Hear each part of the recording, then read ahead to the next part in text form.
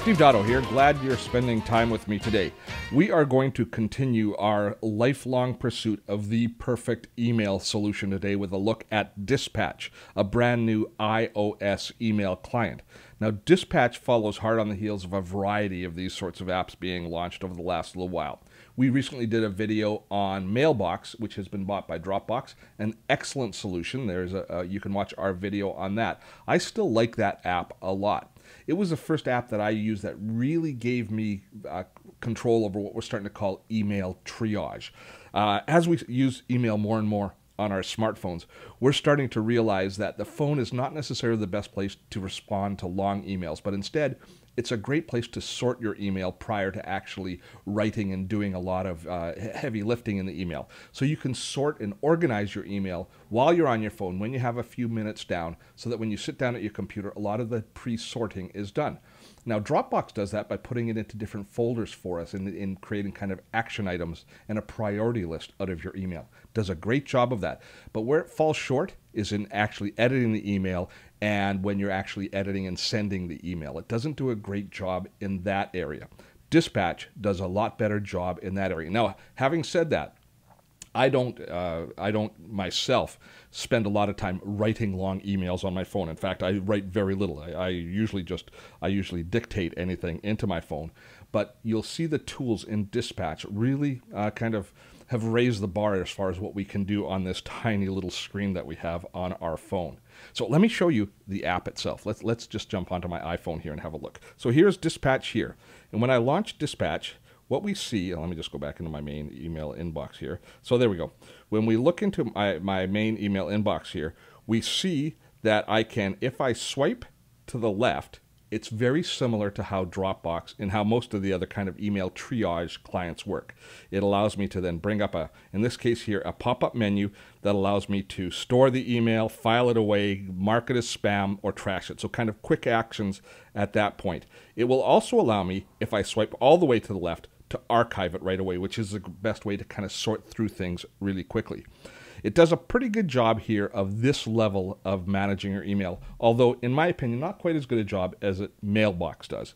Where this app really shines is when we open up that email, take a look at it, and start to deal with the email itself. And let me show you what we can do with the email within the, uh, within the editing interface. The first thing that we can do is highlight any piece of text and we can copy it. So it allows us to, to select the text. We can copy it, of course, but we can also create a quote out of just a small little part of the text or the whole text, which allows us to quote it into the email that we're applying. Very useful as far as creating context and communication. But you see that tool right next to it? New snippet. That's where this app really gets exciting. It allows me to create a snippet, which is basically the same sort of little text string as we use in TextEdit or text expander, excuse me. TextExpander is a great utility that I use on my Mac. Uh, we did a video on it just recently. Check it out. It it's a, basically a macro tool, a keyboard macro tool that you can use to, to quickly enter uh, just a quick little character string, which will then paste in a large chunk of text. I also use it to correct the, my common typos that I make on an ongoing basis. And for me, it's been an absolute lifesaver. There's a sister product in Windows, so you people that use a Windows PC, never fear, you are also covered.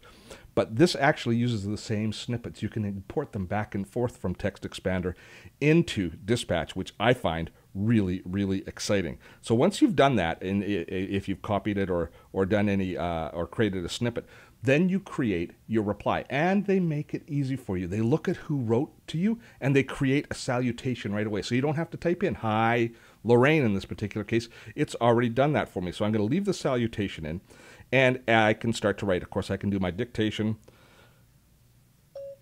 Oops. I'm glad that you wrote to me because I'm very interested in this product. So I can do that. I can do my voice dictation stuff, which all works great. But you look down here at the bottom of this screen, and if I just tap on that, it then pops up this little show snippets tool, which allows me to load in any snippets, to automatically paste in any snippets that I've already created. So if I've created a snippet that says, I'll be there in five minutes, or I'm on my phone, I don't really have time to respond to this email, but I will shortly, it allows me to do those sorts of things very quickly and very effectively and send the email. Now, as good as that is, and that is very good, it's not what made me decide to use this particular piece of software. Let me show you what really enamored me to this software. And if we look at the very bottom of the screen here in the in the email reading window, we've got some of the same tools for moving forward and back and archiving and marking email. But at the far right, we have what we can do with it. Send this email to.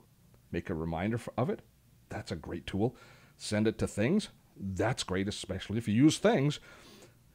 Create an Asana task from it. Oh, that one there just it warmed my heart.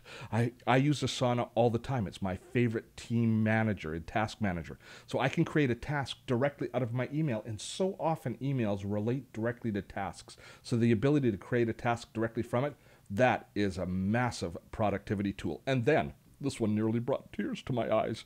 I can send it to Evernote. And not just send it to Evernote as an email into the Evernote inbox. Oh, no, no, no. It actually opens Evernote, launches it, and allows me to go in and apply tags and the other meta information that I like to add to all of my notes that allows me to then have real control over my Evernote notebook. This tool, Dispatch, is has risen really kind of to the top of the list of useful iOS mail apps as far as I'm concerned. There are there are other good contenders to be sure, but for me, Dispatch is well worth a few dollars that you're going to have to spend on it, especially uh, because of this Evernote integration. To me, that is just brilliant, absolutely brilliant. I hope you found this video useful. We certainly appreciate you taking the time to to to view them. Uh, I'm Steve Dotto, and we'll see you again soon.